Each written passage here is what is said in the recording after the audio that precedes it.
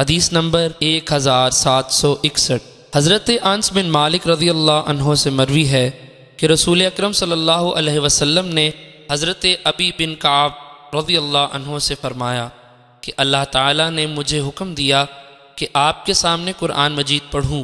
उन्होंने पूछा, क्या अल्लाह ताला ने आपके सामने मेरा नाम लिया था?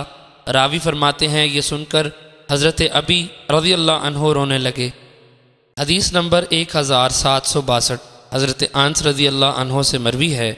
फरमाते हैं, रसूल अक्रम वसल्लम ने हज़रत अबी बिन काब रज़ी अल्लाह से फरमाया, अल्लाह ताला ने मुझे हुक्म दिया कि मैं आपके सामने लम यकुनिल्लजी कफरू, कौला वसम्मानी लका, कौला नाम, कौला फ़बका, पढ़ूँ। उन्होंने पूछा, क्या अल्लाह ताला ने आपके सामने मेरा नाम लिया था?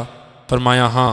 रावी फरमाते हैं, हज़रत अबी बिन काब रज़ी अल्लाह ये सुनकर रोने लगे। हदीस नंबर एक हज़ार सात सौ तिरसठ, हज़रत अंस रज़ी अल्लाह से एक और सनत के साथ भी इसकी मिसल मरवी है।